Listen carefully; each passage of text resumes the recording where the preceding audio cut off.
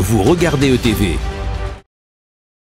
Réduire les impacts des activités économiques du secteur de l'industrie sur le milieu environnemental, c'est l'objectif du programme d'écologie industrielle et territoriale lancé en Guadeloupe par Synergil. Première chose, c'est d'essayer de boucler les flux de matière et d'énergie entre les acteurs économiques. Les déchets de certains acteurs peuvent en fait devenir des ressources pour d'autres acteurs économiques.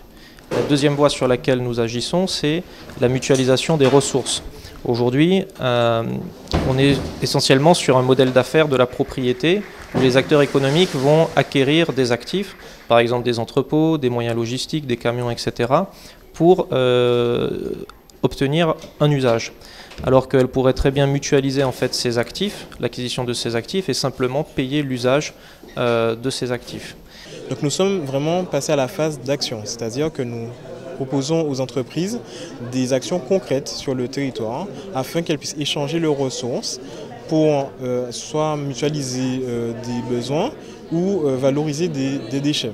Et comment cela peut-il se traduire concrètement? Quelques actions sont déjà en préparation. Par exemple, en termes de réutilisation de palettes de transport, euh, certaines entreprises voulant s'en débarrasser, d'autres en cherchant, euh, soit pour les utiliser en termes de transport, soit quand elles sont cassées, plutôt en les valorisant, euh, par exemple thermiquement.